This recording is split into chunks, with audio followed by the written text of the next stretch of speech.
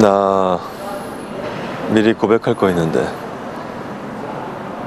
들으면 실망할지도 몰라요. 말해요.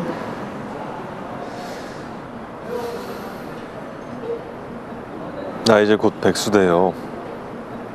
센터장은 아무래도 나한테 맞는 옷이 아니라서 할 수 없네.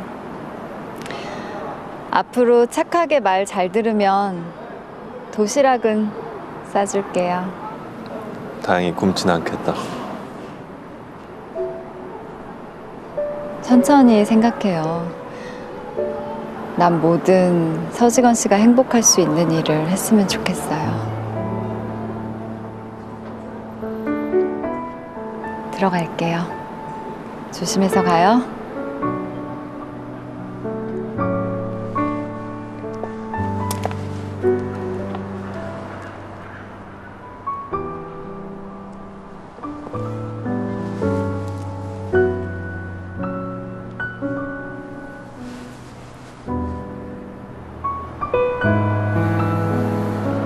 헤어지기 싫다.